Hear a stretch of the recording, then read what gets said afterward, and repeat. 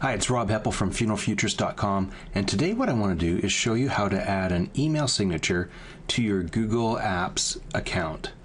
So um, here we're just looking at uh, my email as if I was about to send out an email, and uh, as soon as I hit compose, uh, this comes up and uh, it has my email signature uh, already here. Now, sometimes I delete it or uh, edit it, but um, I just want to show you how you can add that to yours.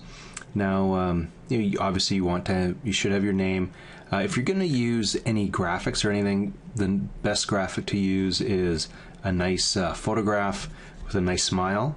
Uh, the most looked at photos are people's faces.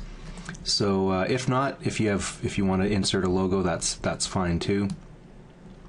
Uh, and then just some basic information, uh, maybe some form of call to action and um, no, and you can do a lot of different things here. Um, just in the space that I'm in with all of the technology and marketing, uh, I've inserted a QR code, which I hope would, um, out of curiosity, people could go and scan that and then um, go and get all of my contact information so they where they can connect with me on uh, Facebook, Twitter, LinkedIn, YouTube, etc. Um, but we could just we could just put the links in there ourselves. Uh, behind the scenes, where you find this is if you just go up to the little cog up here at the very top right, and then go to uh, Mail Settings, and it is in this area here for signature, and instead of just no signature, and you can have um, if you have multiple accounts, you can have multiple signatures. So if I'm sending an email from one of these other accounts, um, a different signature would go up. And then there's just the basic um, editing and things like that. Um, and you can insert the graphics.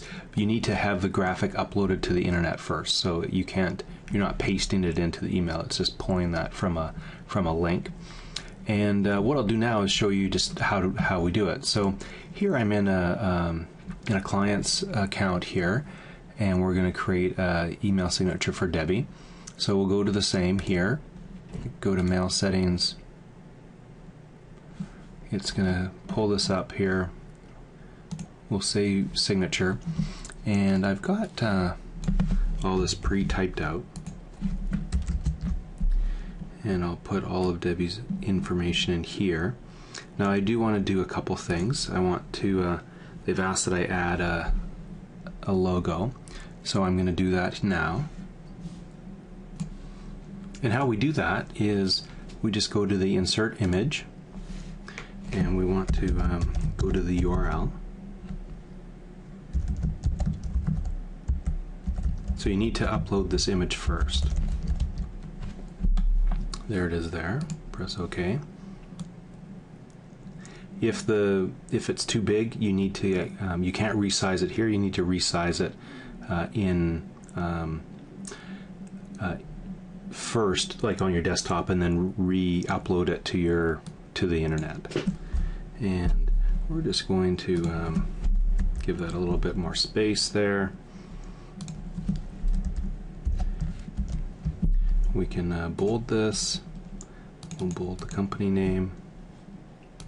And then what we want to make sure we do is make sure that all of these links are active.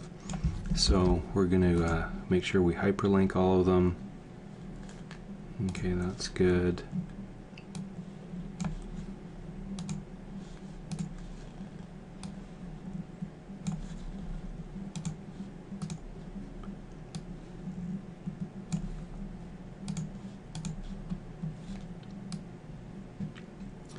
and really that's it. So then we scroll down to the bottom, save changes, and now if we were to compose a new email, you can see that uh, here's the email signature already loaded in, and that's it.